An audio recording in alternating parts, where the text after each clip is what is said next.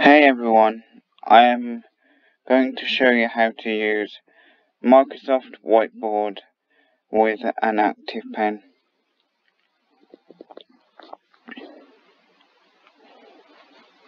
I am going to play copyright free music in the background for entertainment purposes only.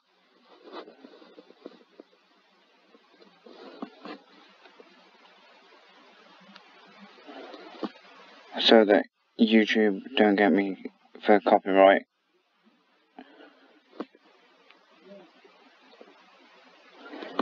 I hope you like it. I will talk you through each and every step I do.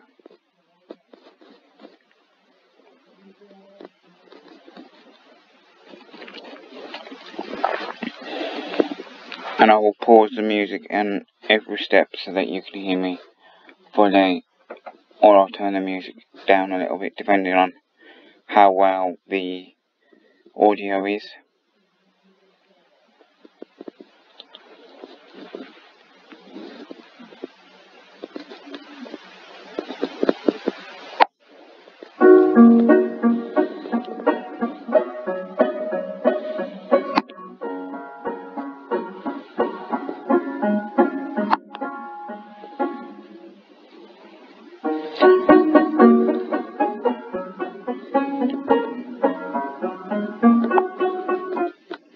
So to first start using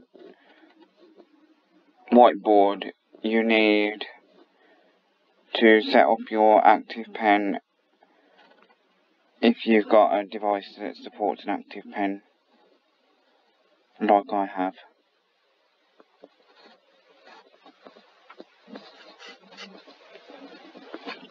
And once you've set up your active pen you just make sure that when the active pen is all set up that all these settings are ticked